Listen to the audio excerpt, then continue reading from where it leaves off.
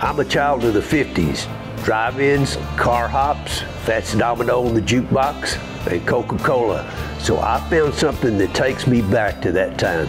Today I'm showing off my Leigh Country 80 quart Coca-Cola cooler.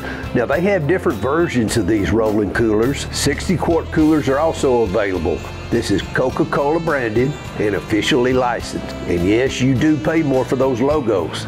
The first thing I want to mention is that the 80 quart red comes with or without the tray. Now the interesting thing about this on Amazon is that the cooler with the tray is the cheapest. It appears to me that they're one and the same, so I would suggest that you could order the one with the tray and then just not install it if that's your preference. Now that being said, I'm talking about how it's priced when I bought mine in May of 2023. It works out to a price difference of about $37. I don't understand it, but it costs more not to get the tray. As you can see, I went with the red.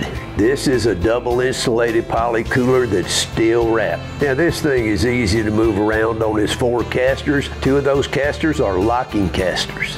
It's got handles on each side that are large enough to double as towel rack. It comes with a metal drain plug in the back. And of course it's equipped with a Coca-Cola bottle opener and there's also a detachable cap catcher. The lid not only folds on each side but it's also removable. Now I found almost everything on the outside is magnetic. The drain plug must be stainless steel because it's not magnetic and the wheels are made of plastic and the bottle opener is definitely metal but it also is non-magnetic so it appears to be die cast. Like I mentioned before, I got the version with the graded tray. I believe the tray makes it much more sturdy. I also purchased a cover, sold separately, and I would love to have bought a cover with the logo on it, but they don't seem to make one at this time.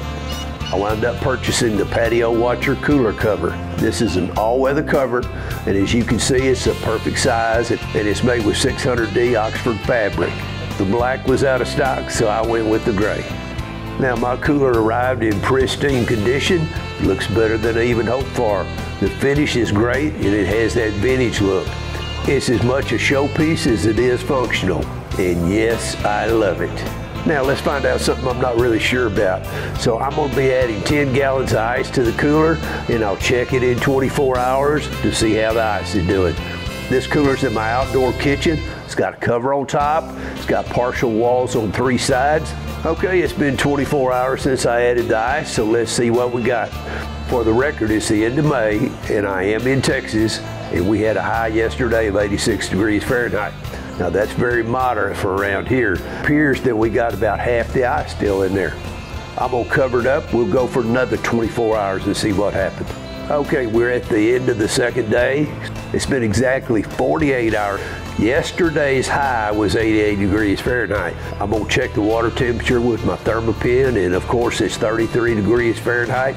I'm guesstimating that we got between 15 and 20% of the ice left. So, under good conditions, that ice can last 48 hours plus. Your mileage may vary. Ambient temperature, shade, the quality of the ice, how many times you open and close that cooler, that's all variables that affect the performance. Now let's check out draining the cooler. Now it's not possible to completely drain the cooler with the drain plug in the sides. You do have to dump it out. It is true that I knew about this before I bought the cooler, but I did buy it, so I'm gonna gripe about it. It's a rolling cooler. The drain belongs on the bottom. Every time you have to dump it out, there's a chance you're gonna scratch this beauty up.